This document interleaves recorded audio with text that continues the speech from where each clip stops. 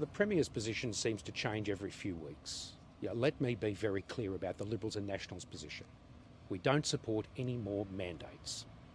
We don't support uh, these complex mask rules, QR code check ins. It's time to have life normal. We can operate sensibly with a double vaccinated beyond 93, 94%. Uh, surveys showing nearly 9 out of 10 Victorians want to get a third booster. That's great news. Great news. Should give us confidence as a state that educating and providing the education to Victorians as to why a booster is important is the way to go. I'm about education. I'm not about mandates or talking down to people or forcing people or berating people. That's the government style. My plan going forward is about educating the population, working with Victorians, bringing Victorians together on this journey of recovery and rebuilding. It's not about forcing them, it's about doing it with them.